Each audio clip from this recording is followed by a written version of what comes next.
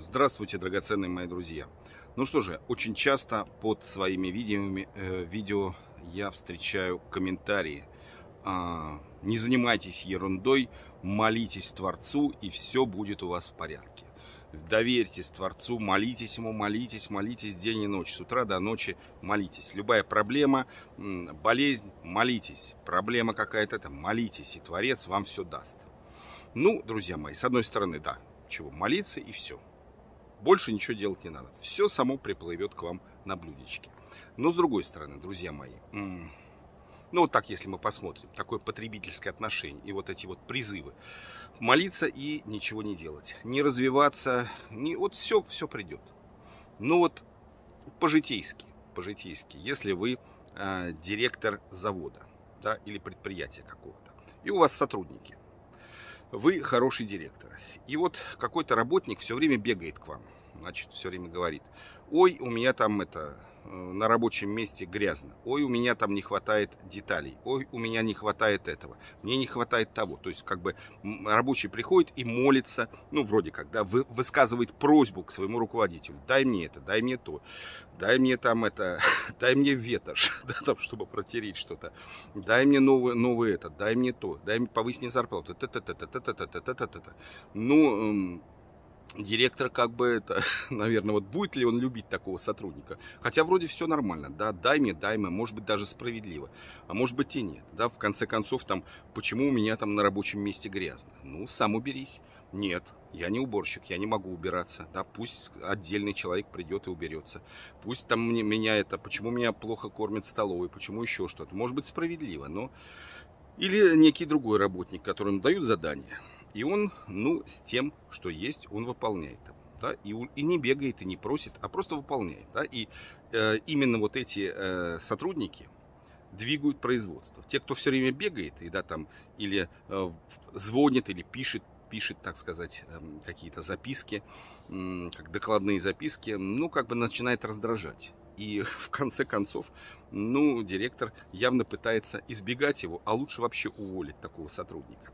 Ну, в том числе, друзья мои, вот а это по-житейски просто, ну, скажите, сравнил Творца с, с руководителем предприятия. Ну, в чем-то наш мир это некий проект. Проект, который затеян для чего-то. Да? Для чего я вам скажу? Для того, чтобы души людей приобретали собственный опыт.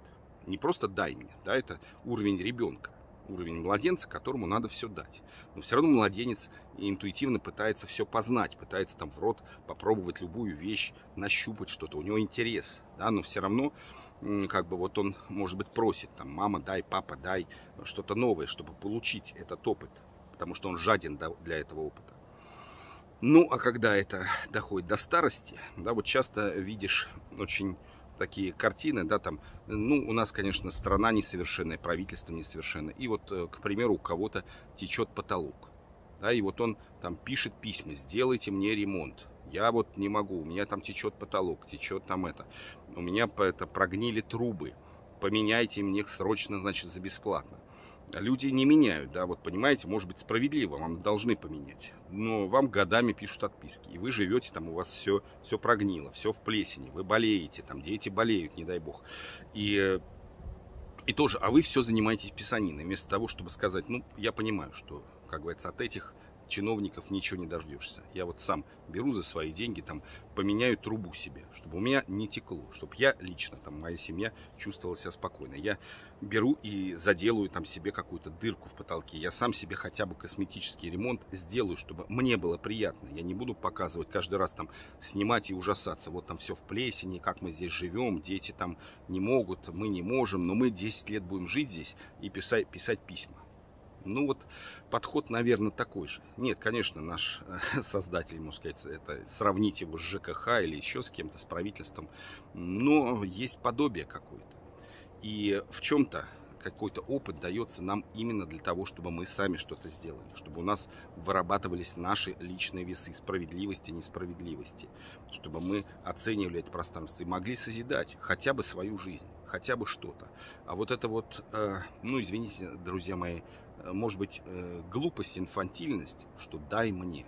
Только в очень сложных ситуациях, когда вы чувствуете, что все, вот вы на пределе, тогда, наверное, можно мольбы мольбы к Создателю вознести. И они вознесутся, когда это ну, идет от души. А когда это вот просто как бы дай мне, дай мне, дай мне, дай мне, каждый день мне дай там в, в эту канцелярию, как вы думаете, куда эти письма ваши, эти мольбы приходят?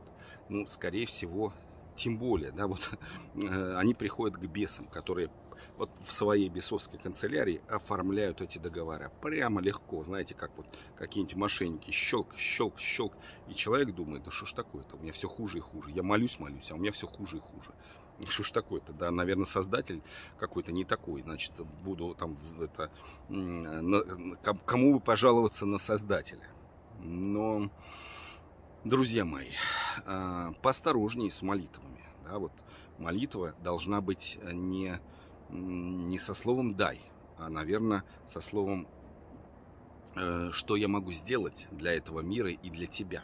Вот, вот такой вот «на, возьми».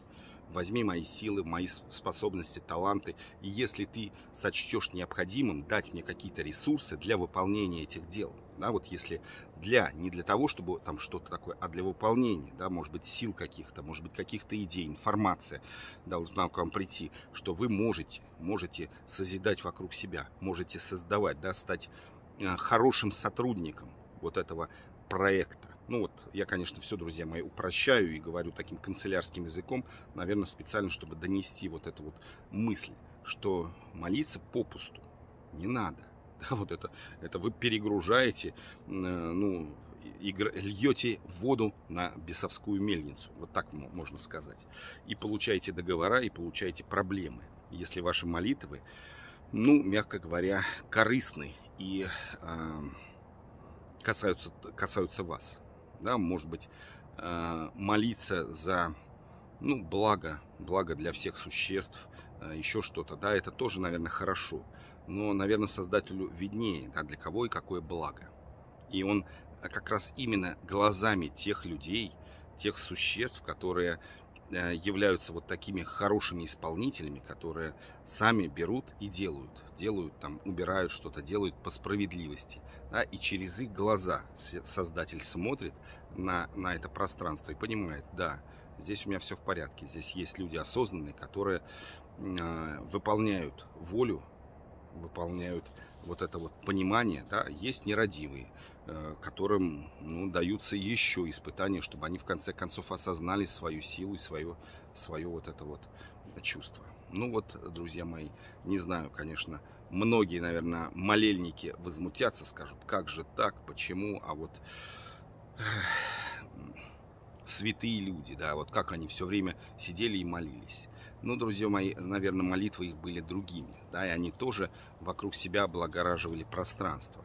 Да, Серафим Саровский, э, спаси себя, и вокруг тебя тысячи спасутся да, вот сделай себя совершенным и своей энергией, намерением. Это не значит, что ты, может быть, там должен что-то такое там. Но вот молитва – это энергия. Вот он эту энергию через себя пропускал и вот на это пространство тех людей, которые к нему приходили.